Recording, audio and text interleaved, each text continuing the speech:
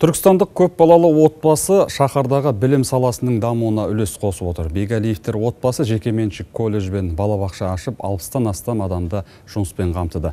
Енді балабақша жанынан мектеп салмақшы. Жандос Жұмабек баяндайды.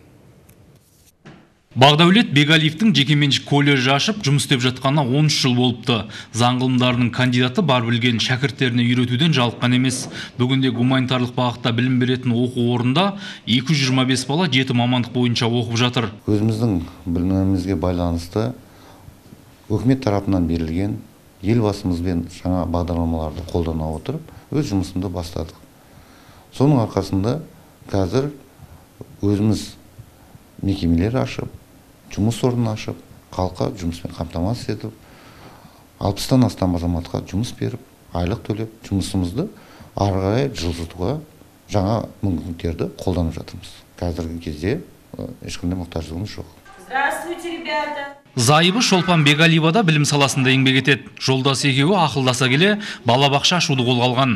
Көп балалы ана өз балаларын балабақшаға бере алмай, берсе де жұмыс арасында жүгіріп барып үйіне отырғызып кетіп, көңілі алаң кездері көп болғанын айтады. өзіміз жұмыс істеген кезде балаларымызды балабақшамыз болмаған кезде әр баланы мектепке балабақшаға өзіміз тасып апарып алып келіп жүрген кезде осындай бір қиналғанбыз біріншіден одан кейін осы тұрғындарға жұмыс жасауға қызмет етуге ашып отырмыз.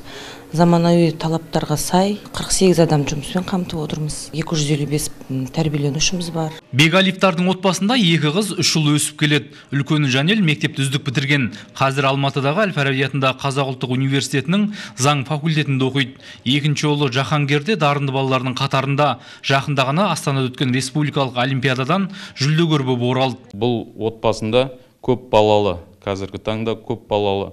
Ана ретінде аталып отыр бұл кісілердің білім саласына қосып отқан үлестері. Көп десек те болады колледж жеке колледж балабақша ашып қазіргі таңда білім саласына көптеген үлестерін қосып көптеген адамдарға жұмыс тауып қаржылай көмек беріп отқан жағдайы бар. Көп балалы отбасының ендігі арманы балабақшаның жанынан мектеп ашу. Жұмыс істеймін деген адамға мемлекеттің ұсынған барлық мүмкіндігін пайдаланып жаңа жұмыс орындарын құру. Жандос жұмабек ерболат әбіш қорытынды жаңалықтар түркістаннан.